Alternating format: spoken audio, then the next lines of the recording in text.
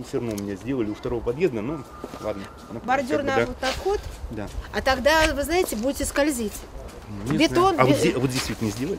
А потому что здесь ступенечки нет. А, ну, может там у вас да. ступенька. Ну, а ступенька да. без бордюра, вы будете ехать. У меня жена сейчас со сломанной ногой, поэтому я и просил сделать тоже ровно.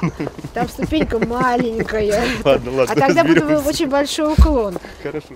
51 и 53 дома в Серебрянке попали в программу благоустройства одним участком. Работы здесь велись одновременно, хотя у каждой территории есть свои особенности.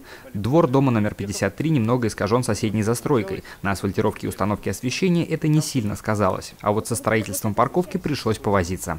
Тут была небольшая проблема в обустройстве большинства, э, более большого количества парковочных мест, но э, встретившись с Еленой Юрьевной, э, это все решилось буквально за один день. То есть все было произведено быстро, замечательно, ну и качественно. Надеюсь, долго время прослужит. Парковку было решено сделать отдельными зонами, на каждой из которых установили новые столбы освещения со светодиодными лампами. Обустройство парковочных мест проводилось в рамках общей системы водоотведения, разработанной с учетом особенностей двора. Подрядчик укладывал асфальт на разных уровнях высоты, чтобы избежать накопления воды на новом покрытии. Здесь как раз работал тот подрядчик, который таким специальным прибором, нивелиром, вымеряли уровень отвода воды. Соответственно, вот подход к подъезду здесь тоже сделали так. То есть входную группу сделали так, чтобы жители не укатились, да, когда будет снег.